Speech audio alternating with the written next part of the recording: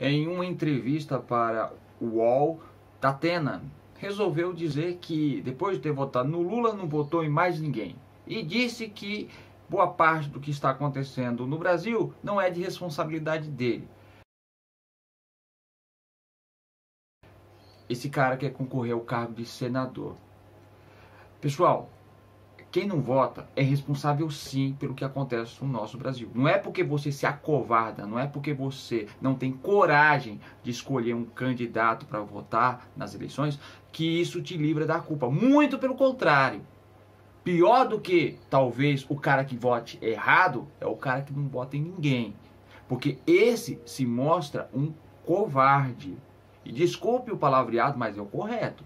Se você não tem coragem de confiar em um candidato para melhorar o país, também não tenha coragem de se dizer isento da culpa das coisas que acontecem. Porque sim, você escolheu um lado, o lado de se esconder. Quem se esconde não tem direito de levantar a voz.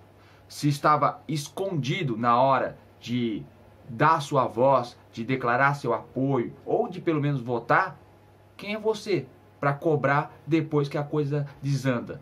Você não foi homem ou mulher suficiente para votar? Então, talvez você não seja homem ou mulher suficiente para cobrar nada. Na hora do vamos ver, você não tem coragem nem mesmo de votar?